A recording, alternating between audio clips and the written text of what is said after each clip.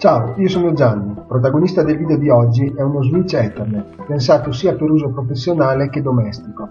Prodotto da TP-Link, disponibile in due versioni, da 5 e 8 porte, supportanti lo standard Gigabyte. Si tratta di un accessorio indispensabile sia per la realizzazione di una rete domestica, sia per il collegamento di diversi dispositivi disponendo di un unico punto di accesso alla rete. Personalmente l'ho utilizzato per entrambi gli scopi e ne sono rimasto soddisfatto. Scopriamolo insieme in questa video recensione. Lo switch arriva in questo box dall'aspetto professionale, dove sulla parte frontale sono riportate, oltre al numero del modello, TLSG105, anche alcune specifiche.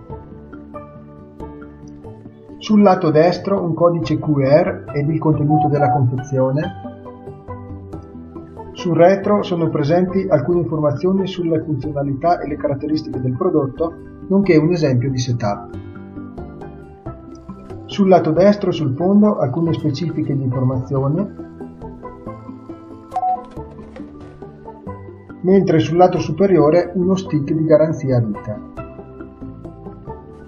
Passando al contenuto troviamo una guida di installazione in lingua inglese, ma il dispositivo è veramente molto semplice, non necessita di alcun, di alcun setup e quindi il manuale non serve. Un'altra guida di installazione, questa volta in diverse lingue tra cui anche l'italiano, che però riguarda principalmente il modello 8 porte che supporta la funzione PPOE e quindi anche questo non è necessario una guida per il supporto tecnico, una dichiarazione di conformità,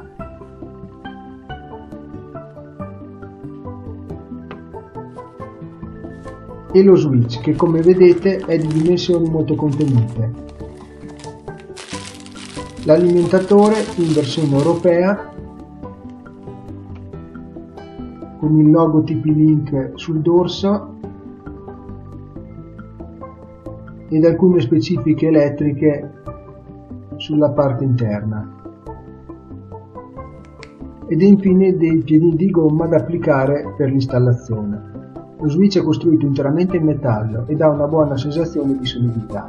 Sulla parte frontale troviamo la porta di alimentazione, basta collegarlo all'alimentatore e il dispositivo è acceso, vedete il led verde si accende Peccato che non ci sia un interruttore per poterlo spegnere e accendere al proprio piacimento.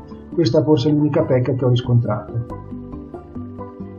Una piccola feritoia di cui non ho capito l'utilità, sul lato una griglia per la reazione, sul fondo la predisposizione per l'installazione, a muro o a scrivania, dipende ovviamente da caso a caso, e uno stick con delle specifiche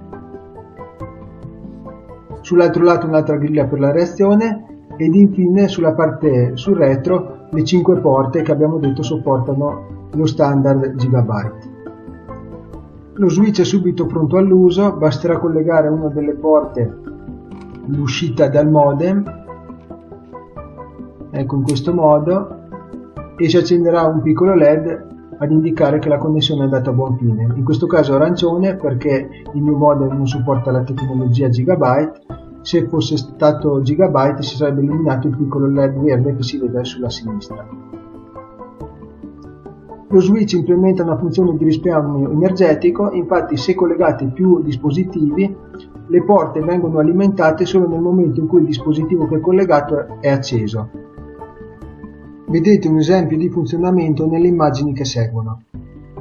Per concludere, il mio parere è che questo è un buon dispositivo fa quello che deve fare e lo fa bene. Inoltre il prezzo è molto competitivo. Spero che il video vi sia piaciuto, se l'avete trovato utile potete condividerlo, mettere mi piace, iscrivervi al canale per altre recensioni. Se volete dire la vostra sentitevi liberi di lasciare un commento. Ci vediamo alla prossima, grazie per la visione, ciao da Gianni.